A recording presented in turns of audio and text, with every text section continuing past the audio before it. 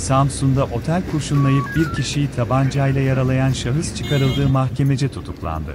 Olay, Samsun'un İlkadın ilçesi Yaşardoğu mahallesinde meydana geldi. Edinilen bilgiye göre, silahlı saldırıya uğrayan G32 sol ayağından yaralandı. Hastaneye kaldırılan yaralı tedavi altına alınırken, silahlı saldırgan ise kaçtı. İlkadın İlçe Emniyet Müdürlüğü Suç Önleme ve Soruşturma Bürosu ekipleri, silahlı saldırıyı düzenlediği iddia edilen R.O. ve Y.30 yakalayarak gözaltına aldı. Polis yaptığı araştırma sonucu R.O. ve Nin 19 Mayıs mahallesinde de bir otele silahlı saldırı düzenlenmesi olayına karıştığını tespit etti. Polisteki sorgulunun ardından bugün Samsun Adliyesi'ne sevk edilen lavabo çıkarıldığı mahkemece tutuklanarak Samsun T tipi kapalı cezaevine gönderildi.